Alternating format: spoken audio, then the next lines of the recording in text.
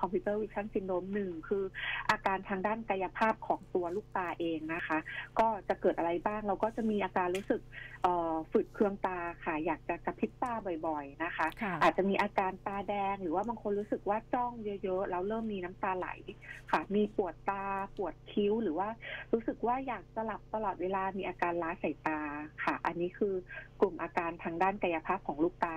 สำหรับเรื่องการมองเห็นก็ก็กระทบเช่นเดียวกันค่ะ อาจจะเราเริ่มรู้สึกว่าเออตาเรามัวลงมองเห็นไม่ชัดเท่าเดิมนะคะ หรือว่ามีภาพซ้อนเห็นภาพเบลอๆค่ะ หรือว่าเราเริ่มโฟกัสสิ่งต่างๆ ได้แย่ลงจากที่เคยคมชัด ก็เริ่มรู้สึกว่าภาพมันรางๆนะคะ ก็จะเป็นในเรื่องของการมองเห็น ค่ะ สุดท้ายก็คือเรื่องของร่างกายค่ะ คือก็ไม่ใช่มีอาการที่ทางตาอย่างเดียวค่ะ อาการปวดไหล่ปวดคอนะคะ หรือว่าปวดศีรษะปวดกล้ามเนื้อหลังค่ะ เราต่างๆ เหล่านี้ก็คือเป็นสัญญาณของโรคกลุ่มของ computer vision syndrome ได้เช่นเดียวกันค่ะอาจารย์คะถ้าพูดถึงระดับความรุนแรงของของภาวะหรือของโรคนี้ค่ะ มันเป็นได้ถึงระดับไหนอะคะอาจารย์เออไม่ไม่ได้รุนแรง ในทางตานะคะ ไม่ได้รุนแรงถึงขนาดจะทำให้ตาบอดแต่ว่าก็กระทบกับการใช้ชีวิตประจำวันนะคะ พอสมควรค่ะส่งมีผลกระทบต่อในด้านเรื่องของการทำงานเรื่องของสุขภาพโดยทั่วไปค่ะ แต่ว่าไม่ได้ถึงทำให้เกิดอันตรายถึงชีวิตหรือว่าถึงตาบอดขนาดนั้นค่ะ ถ้าถ้าถ้าภาวะของผู้ที่มีสายตาที่ปกติ แล้วมาเจอกับภาวะ computer vision syndrome แบบนี้จะทำให้สายตาผิดเพี้ยนไปจากเดิมไหมครับ ของในผู้ใหญ่นะคะ ก็ถ้าเกิดว่าในกลุ่มของผู้ใหญ่ที่จ้องเป็นระยะเวลานานๆนะคะ โดยเฉพาะอย่างยิ่งในกลุ่มที่อายุ 40 ขึ้นไปเนี่ยค่ะ อาจจะทำให้อาการมันชัดเจนมากขึ้น เพราะว่าประชาชนกลุ่มนี้นะคะ ก็จะเริ่มมีภาวะที่เรียกว่าสายตายาวในระยะใกล้ ซึ่งยิ่งถ้าต้องเพ่ง วัตถุที่อยู่ใกล้ๆมากๆค่ะ ก็จะยิ่งทำให้มีอาการล้าสายตาได้ง่ายขึ้น ส่วนในเด็กเนี่ยค่ะ ชัดเจนว่าการใช้เพ่งนานๆนะคะ มีเป็นปัจจัยสำคัญอย่างหนึ่งที่ทำให้เกิดภาวะสายตาสั้นได้เร็วขึ้นได้ค่ะ อืมค่ะ อาจารย์คะแล้วถ้าพูดถึงเด็กๆ ที่เรียนออนไลน์ในช่วงนี้ค่ะ อาจารย์ ไม่แน่ใจว่าเรามีมีการสำรวจหรือมีข้อมูลไหมคะว่าเด็ก ๆ เนี่ยมีมีภาวะเนี้ยมากน้อยขนาดไหนคะอาจารย์ ก็ถ้าถ้าจากในประสบการณ์ที่ตรวจคนไข้นะคะ ก็ถือว่าเป็นปัญหามากพอสมควรเลยค่ะ กับทั้งผู้ปกครองด้วย แล้วก็กับทั้งตัวเด็กเองด้วยนะคะ คือในเด็กเนี่ยอาการต่างๆที่ที่กล่าวมาเมื่อสักครู่ค่ะ สามารถเกิดในเด็กได้ทุกอย่างค่ะแล้วก็เพิ่มเติม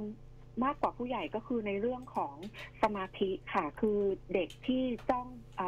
มือถือสมาร์ทโฟนนานๆเนี่ยค่ะ จะมีมีปัญหาในเรื่องของสมาธิสั้นค่ะทำให้การโฟกัสสิ่งต่างๆ รอบตัวน้อยลงสนใจสิ่งรอบข้าง คนรอบข้างน้อยลงค่ะ แล้วก็เด็กก็จะมีภาวะกังวลกระวายไม่นิ่ง เมื่อไม่ได้ใช้สมาร์ทโฟน พวกนี้ค่ะ ก็จะเป็นปัญหาที่มากกว่าผู้ใหญ่ซึ่งแก้ไขยากค่ะ ภาวะภาวะนี้ที่ส่งผลไปถึงไหล่คอที่ที่ผู้ประสบกับภาวะนี้จะจะมีอาการนะฮะมันมันมันเชื่อมต่อกับสายตายังไงครับ อาจารย์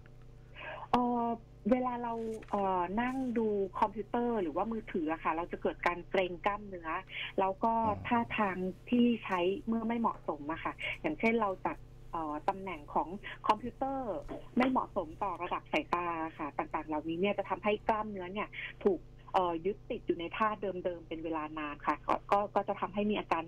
การหดเกร็งของกล้ามเนื้อที่ผิดปกติไปค่ะ เกิดอาการเมื่อยล้าเกิดพังผืดติดได้ค่ะอ๋อวิธีวิธีแล้ววิธีป้องกันเบื้องต้นเหรอครับอาจารย์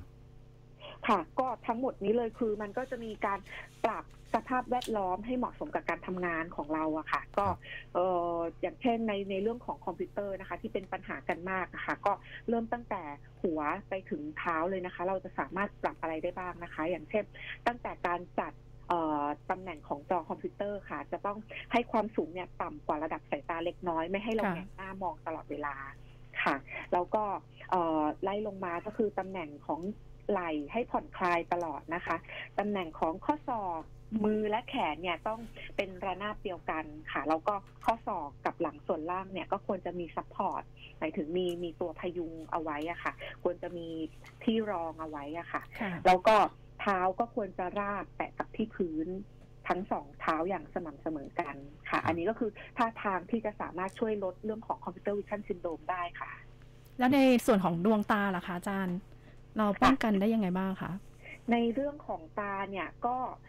อย่างแรกคือที่จอคอมพิวเตอร์นะคะ เมื่อเราใช้เนี่ยควรจะปรับในเรื่องของความคมชัดให้ให้ภาพเนี่ยชัดเจนตลอด ตัวหนังสือที่ไซส์ขนาดที่เราดูแล้วสบายตาไม่ต้องเพ่งมากจนเกินไป สามารถใส่ฟิลเตอร์ตัวกรองอะค่ะ ที่จอคอมพิวเตอร์ได้ ถ้ารู้สึกว่าแสงเยอะเกินไปนะคะ แล้วก็แสงในห้องก็ควรจะสว่างอย่างเพียงพอ แล้วก็ลด การเกิดแสงสะท้อนจากหน้าจอคอมพิวเตอร์ด้วยค่ะ แสงที่มาจากนอกห้องก็อาจจะจำเป็นต้องมีม่านกั้นหรือว่าไม่ให้แสงจากภายนอกเนี่ย รบกวนมากเกินไป ทางด้านตาเอง ถ้าเกิดว่าเรามีสายตาผิดปกติอยู่เดิม เมื่อเราใช้งานคอมพิวเตอร์ค่ะ เราก็ควรจะใส่แว่น ให้มีภาพคมชัดตลอดเวลาเพื่อลดอาการ เพื่อลดการเพ่งจากตาของเรานะคะ แล้วก็สามารถใช้น้ำตาเทียมหยอดเพื่อลดอาการตาแห้งได้ค่ะ ค่ะ ในในภาวะ ของเด็กนะครับ เด็กเวลาเรียนออนไลน์จะใช้แท็บเล็ตเนาะทีนี้เด็กจะมี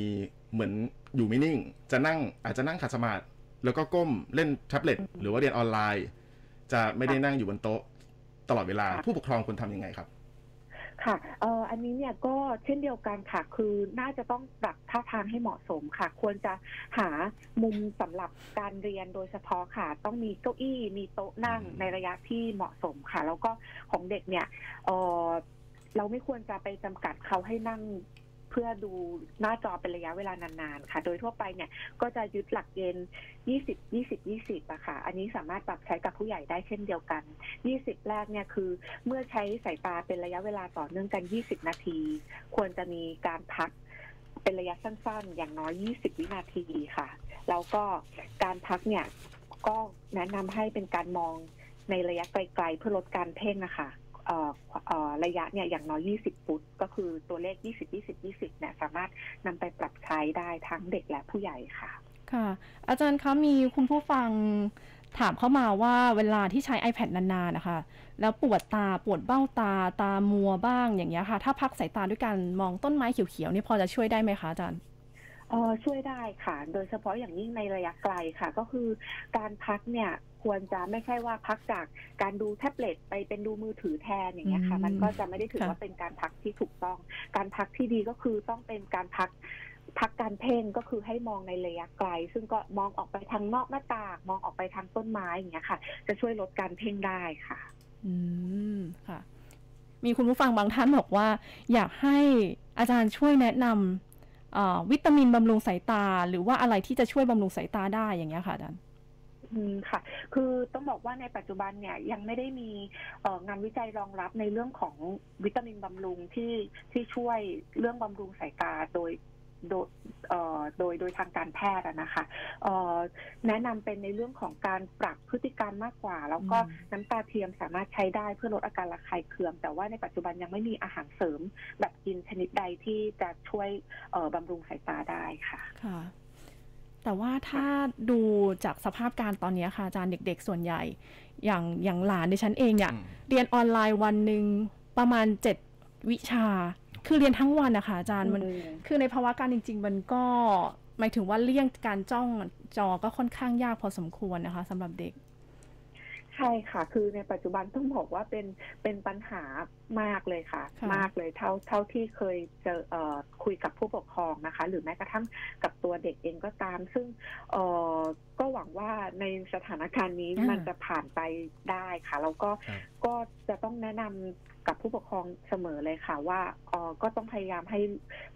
ลูกอะค่ะ ได้พักสายตาแม้จะเป็นช่วงระยะเวลาสั้น ๆ ก็ตามค่ะ ครึ่งชั่วโมง พักไปดื่มน้ำพักให้มีการลุกมีการทำกิจกรรมขยับเปลี่ยนท่าทางด้วยค่ะ แล้วก็อาจจะใส่พวกอุปกรณ์กรองแสงต่างๆ ในในในเอ่อแท็บเล็ตหรือว่าคอมพิวเตอร์ก็จะช่วยได้ส่วนหนึ่งค่ะ อืม ค่ะค่ะ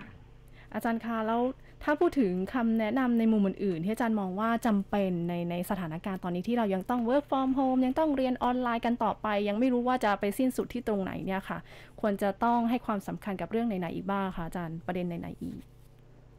เออก็น่าจะเป็นหลักๆ คือส่วนใหญ่จะเป็นที่พูดไปแล้วอะค่ะค่ะเป็นเรื่องของการถนอมสายตาค่ะอืมทำยังไงที่เราจะอยู่ในภาวะนี้ได้โดยที่โดยที่เอ่อไม่ ไม่เกิดกลุ่มเรื่องของ computer vision syndrome หรือว่า digital eye strain ก็จะเป็นอีกคำหนึ่งที่เขาใช้กันก็คือเรื่องภาวะการล้าสายตาค่ะ คืออย่างที่บอกไปว่าในปัจจุบันเนี่ยเราหลีกเลี่ยงไม่ได้อยู่แล้ว ที่เราจะใช้สมาร์ทโฟน หรือว่าคอมพิวเตอร์เข้ามาเป็นส่วนหนึ่งของชีวิตประจำวัน เรียกได้ว่าเป็นส่วนหนึ่งของชีวิตประจำวันไปแล้วล่ะค่ะ ก็ต้องอาศัยในเรื่องของการบริหารการผ่อนคลายเหมือนกับ เราบริหารชีวิตประจำวันของเราอะค่ะอันนี้ก็เป็นส่วนหนึ่งที่เราต้องอจัดตารางบริหารให้ถูกต้องค่ะ เพื่อที่จะถนอมสายตาสามารถใช้สายตาไปได้นานๆค่ะ ค่ะ วันนี้ก็ต้องขอขอบพระคุณอาจารย์มากๆค่ะ ที่มาให้ความรู้นะคะ ในเรื่องของการคำแนะนำการถนอมสายตา แล้วก็การป้องกันจากภาวะ computer vision syndrome ซึ่งอาจจะเป็นคำที่ไม่ค่อยคุ้นเคยกันนะ ใช่ครับ เนาะวันนี้ต้องขอขอบพระคุณอาจารย์มาก ๆ ค่ะ สวัสดีค่ะขอบคุณครับอาจารย์สวัสดีค่ะค่ะ แพทย์หญิงอาภาพรเศษนะคะนายแพทย์ชำนาญการกลุ่มภารกิจด้านจักษุวิทยาเชี่ยวชาญด้านสายตาเด็กโรงพยาบาลเมตตาประชารักษ์วัดไร่ขิงกรมการแพทย์ค่ะก็อย่าง